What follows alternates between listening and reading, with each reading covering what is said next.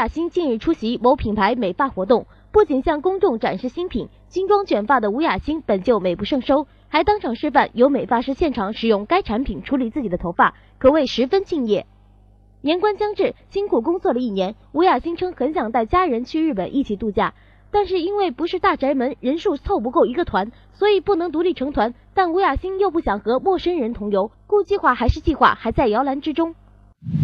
反正是想说跟家人去北海道，家人，嗯，就跟我的十三口子，这样花很多钱呢。六十几万呢、对啊，因为你看一个人五万多，十三个人，我已经算大概六十几万。然后我就跟旅行团的人讲说，那我可不可以自己这样十三个人，对，出一个团，就我们自己这样。他就说，因为现在是过年，就是很夯的时间，所以一定要二十五个人才可以一团，因为都包机团嘛。